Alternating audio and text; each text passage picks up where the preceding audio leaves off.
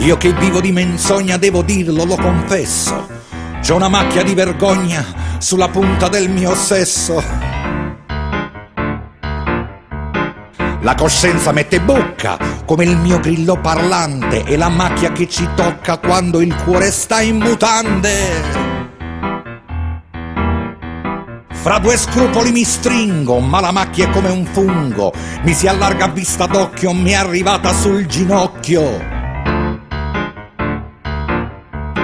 Si dirama, si attorciglia scende fino alla caviglia, poi si allunga sul tallone, forse un'allucinazione. Che pazzia!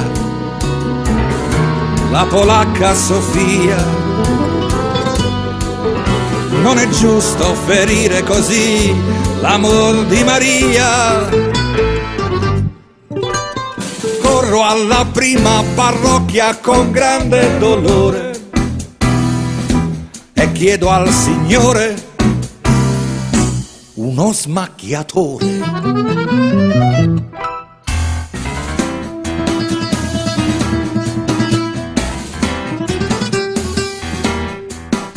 Io non so che cosa sia, ma la macchia non va via. Me la guardo troppo spesso, è la macchia dello sesso.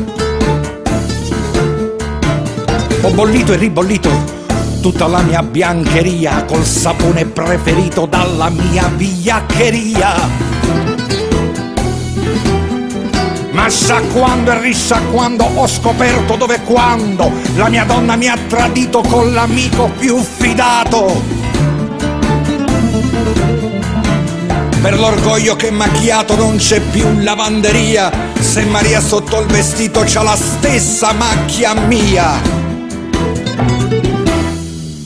Pazzia, anche la dolce Maria. È successo quel mercoledì che andai con Sofia corre alla prima parrocchia con grande dolore e chiede al Signore uno smacchiatore. Poi scopro con sorpresa che la macchia ormai si è stesa. Vedo gente per le scale con la stessa macchia uguale. I vicini gente illustre con le stesse macchie nostre. Il postino faccia onesta c'ha una macchia come questa. E il contagio mano a mano sale al terzo, al quinto piano. Fra mariti, mogli, amanti, macchie per abbigliamenti. Tutta gente di rispetto, al di là di ogni sospetto. Tutti in chiesa dal Signore a cercare lo sbacchiatore. Che pazzia! Apro gli occhi e Maria, nel portarmi il caffè, rovescia sull'anima mia.